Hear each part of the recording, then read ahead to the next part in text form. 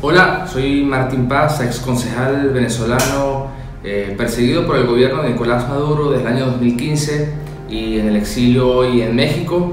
Hoy estamos a 20 años, a casi 20 años de haber eh, presenciado la toma de Venezuela por parte de un modelo político llamado el socialismo del siglo XXI, liderado por el expresidente Hugo Chávez Frías, hoy ya eh, fallecido. Un proyecto político que inició aprovechando las bondades y los beneficios de la democracia para instalarse en el poder y a partir de ahí destruir desde adentro eh, las instituciones y no solamente las instituciones y los poderes públicos, sino también eh, el aparato productivo del país y al final eh, a toda la sociedad venezolana. Un modelo político que no ha sido un modelo político y económico fallido, sino bien calculado, pensado para destruir la economía, pensado para dominar a la gente y pensado eh, precisamente para eh, reducir todas las libertades eh, y todos los derechos políticos y sociales de nuestro país.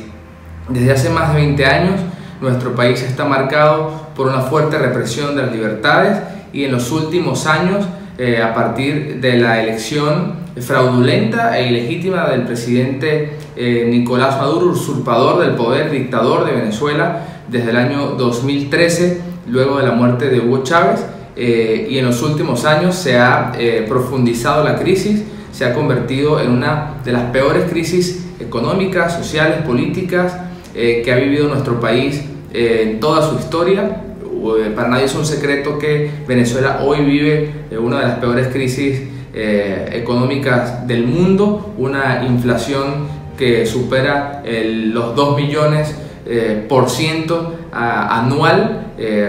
lo que puede eh, cambiar o subir eh, de precio un producto eh, en un país normal como México en un año, en Venezuela sube el precio en minutos, en apenas horas. eso ha derivado en que por supuesto no exista la capacidad de las personas para alimentarse, que la salud no esté garantizada nuestro, para nuestro pueblo, que ha llevado a la gente a morir de hambre, a comer de la basura, que ha llevado a, los niños a sufrir eh, desnutrición, eh, que ha llevado a incrementarse de manera muy fuerte las muertes de neonatos en nuestro país, de niños recién nacidos que mueren por no tener eh, los cuidados más básicos que en cualquier otro país pudiese tener. Es decir, una gran crisis que no es política nada más, que no es de lucha de dos grupos de poder por, por obtener el poder del país, sino que es una verdadera crisis humanitaria que tiene al pueblo venezolano en la miseria y en la muerte, por lo cual más de 4 millones de venezolanos han tenido que huir del país para buscar mejor calidad de vida en cualquier otro país del mundo, donde estamos pues todos eh, esparcidos, eh, la familia se ha separado, eh, los venezolanos hoy se encuentran regados en todas partes del mundo y hoy, a casi 20 años de haber sido tomado por el, el socialismo del siglo XXI en nuestro país, seguimos viviendo una de las peores crisis de nuestra historia.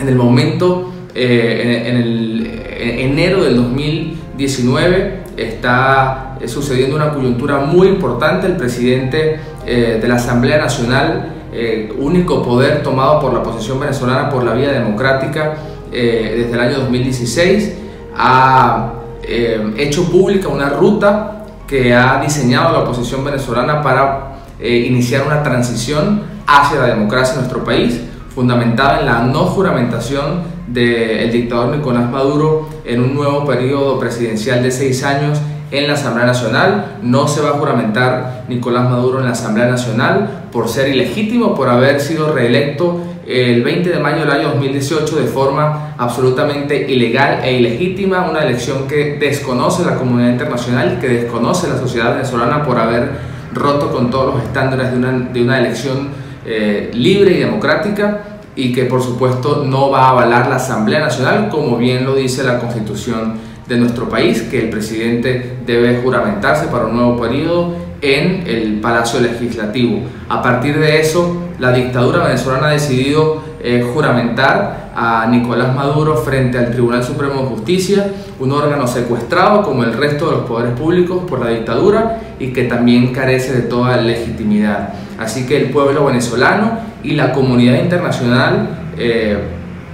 sobre todo representada en grupos como el Grupo de Lima, en eh, organismos eh, multilaterales como la Organización de Estados Americanos y muchos países de forma independiente han respaldado eh, la propuesta de la oposición venezolana para restituir el hilo democrático, para restituir el Estado de Derecho en nuestro país y para comenzar una transición que termine con 20 años de dictadura, que termine con 20 años de atraso, que termine con 20 años de persecución, con 20 años de muerte, con 20 años de miseria, con 20 años de, de sangre, con 20 años de, hambre en el pueblo venezolano y que por fin podamos construir una nueva Venezuela eh, en democracia, con libertades y por supuesto con calidad de vida para los venezolanos.